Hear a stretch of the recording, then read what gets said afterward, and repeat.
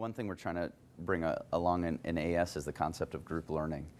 Um, so many people here are in study clubs and um, you know learn things with their study clubs all throughout the country. And one of our big goals is to say, hey, you're at this meeting, that's great.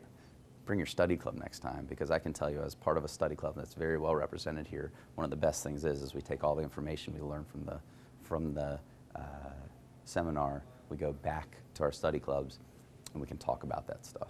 Um, and when you're an individual and you come across this great meeting, that's awesome. And sometimes you can go back and you can explain it and say, hey, this is what I learned. These are some of the great things I learned.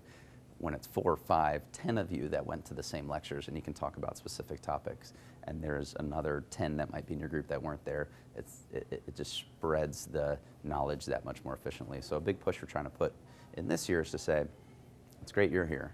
Next time, bring your study club. You know, bring as many as you can. Come learn together. Come bring your stuff back to your, you know, your respective towns together, and um, and it just it just uh, keeps that learning. Uh, it, it just multiplies the learning. So that's what we're hoping.